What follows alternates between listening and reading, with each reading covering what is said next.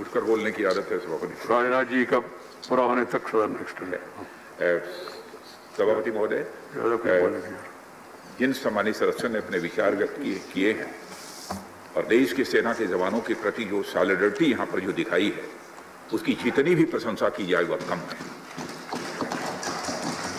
मैं आभार व्यक्त नहीं करना चाहता क्योंकि हम सब एक हैं और देश के लिए तो सारे भेदभावों से ऊपर उठकर पहले भी हमने जंग लड़ी है, चुनौतियों का हमने मुकाबला किया है। आज इस सदन ने पूरे देश को यह आश्वस्त कर दिया कि चाहे चुनौती कितनी भी बड़ी क्यों न हो, समस्त देशवासी एकजुट होकर उसका मुकाबला करने की कुवत रखते हैं, उसका मुकाबला करेंगे।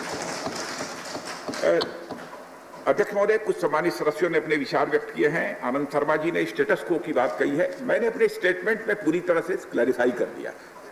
पूरी तरह से क्लैरिफाई कर दिया है। इसको हमारे फॉर्मर डिफेंस मिनिस्टर जिनका मैं बहुत सम्मान करता हूँ एंटनी साहब। एंटनी साहब ने पेट्रोलिंग पैटर्न की बात ये कही है और ये कहा कि चाइना पेट्रोलिंग करने से भारत को रोकता है। मैं ये स्पष्ट कर देना चाहता हूँ, लड़ाई भी तो इसीलिए हो रही है, फेसाब तो इसीलिए होता है।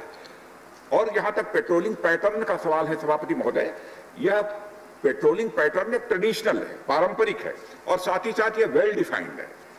भारत के सेना के जवानों को पेट्रोलिंग करने से दुनिया की कोई ताकत नहीं रोक सकती। यदि हमारे हमारे जवानों ने अपना बलिदान दिया है तो इसीलिए बलिदान दिया है। इसीलिए बलिदान दिया है। और इसमें कोई परिवर्तन इस पेट्रोलिंग पैटर्न में नहीं होगा। मैं अपने सम्मानित पूर्व रक्षा मंत्री एंटनी साहब को मैं यकीन दिलाना चाहता हूँ। पुनः इससे ज़्यादा कुछ न कहते हुए, क्योंकि ऑपरेशनल रिक्वायरमेंट्स की कुछ सेंसिटिविटीज होती हैं।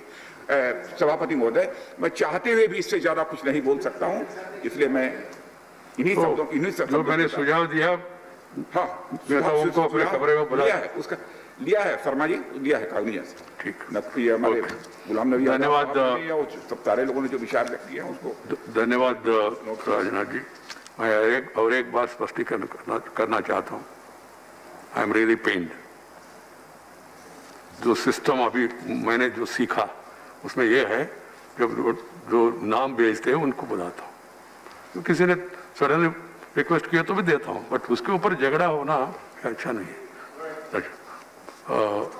धन्यवाद सबको, और रक्षा मंत्री ने विस्तार से बताया, और सभी पार्टियों ने साथ दिया, देश के हित में हम सब लोग एक है इस मैसेज से देशवासी संतुष्ट हो जाएँगे।